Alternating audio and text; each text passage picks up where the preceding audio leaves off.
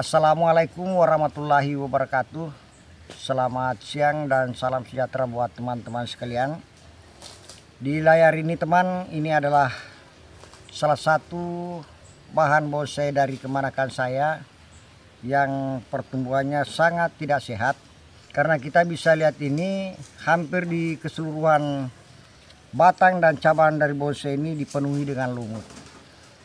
Kemudian dari gerak batang juga kurang bagus. Di awal posisi tanamnya seperti ini teman.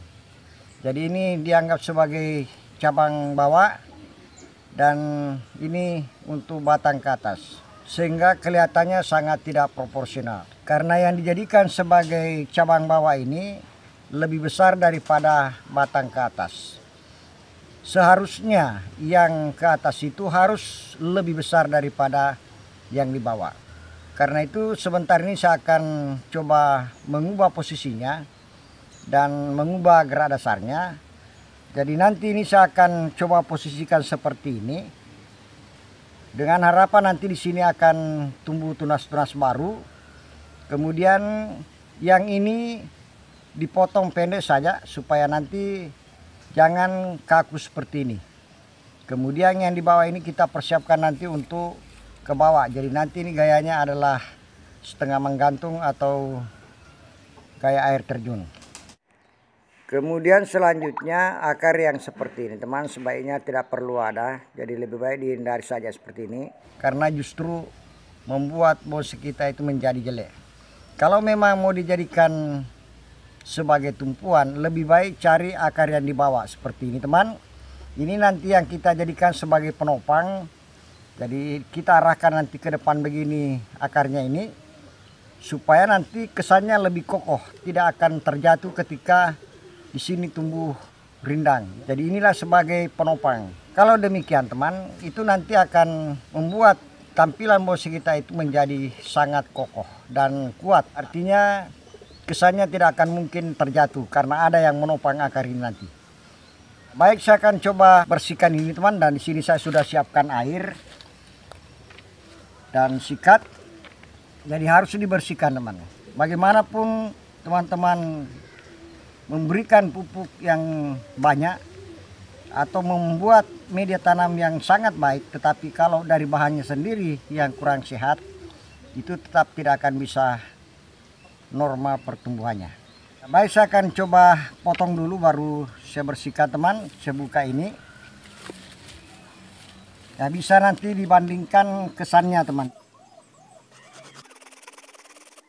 Membiarkan seperti ini teman itu menjadi pekerjaan yang sia-sia karena tidak akan pernah bisa menjadi bonsai yang bagus. Jadi lebih baik dibersihkan kemudian diubah tampilannya ini sudah jadi teman kemudian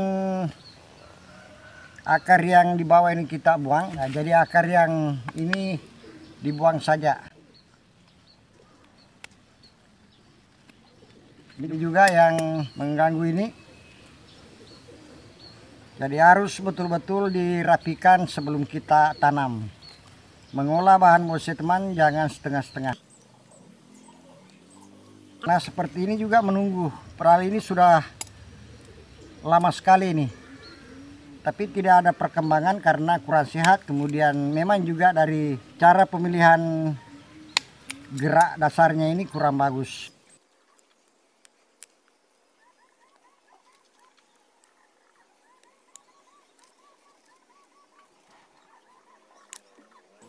Sebaiknya nanti di pruning juga teman supaya mengurangi penguapan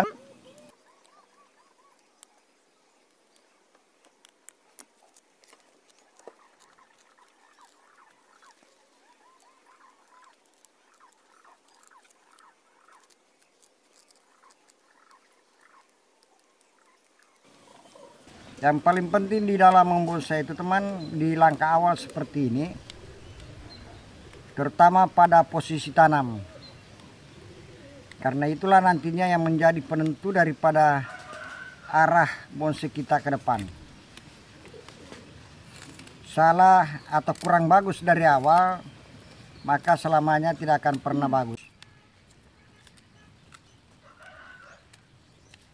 Jadi harus dibolak-balik dari arah mana bagus tampilannya baru kita tanam.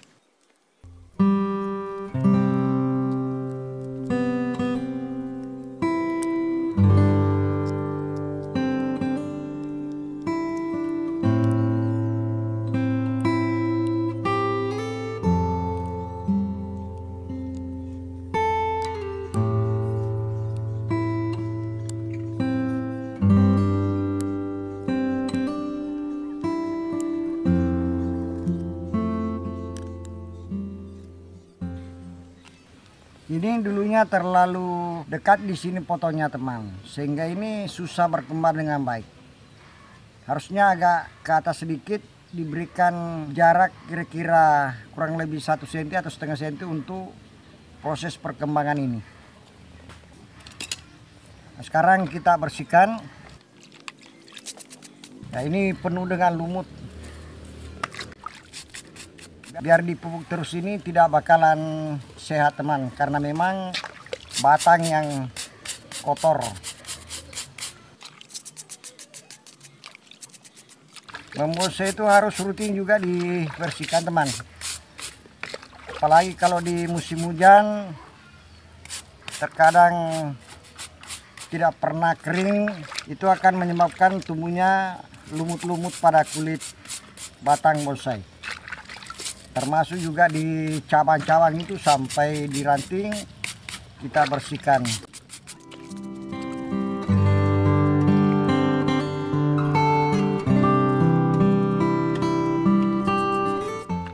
Sebentar ini saya akan pecah juga